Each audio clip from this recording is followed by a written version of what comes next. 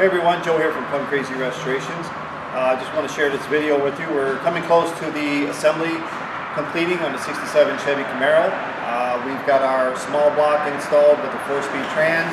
Uh, we've converted it to a Holley Sniper EFI fuel injection system.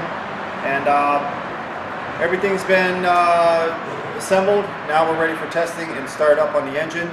Uh, it is a new camshaft, a new top end with aluminum heads, so we want to do a proper break-in on the camshaft as well as our tuning and everything at one go. So this, this startup is very important.